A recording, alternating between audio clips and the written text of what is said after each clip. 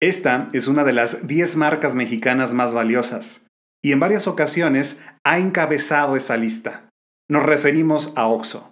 La primera tienda OXO se inauguró en la ciudad de Monterrey en 1978, como una iniciativa de la cervecería Cuauhtémoc. La marca tiene presencia dominantemente en México, pero también en Chile y Colombia. Hasta 2020, la cadena de Mini Super contaba con más de 19.000 tiendas. ¿Sabías que cada 7 horas se abre una nueva tienda OXO? La primera versión de su marca gráfica formaba con sus caracteres un carrito de supermercado. Esta marca ha evolucionado por lo menos en tres ocasiones, siendo esta la versión actual. OXO administra un portafolio que contempla 25 marcas, entre ellas Andati, Vikingo, Delixia, Beats, Azalia, Del Marqués, Festivo, etc. OXO, un gigante de 24 horas.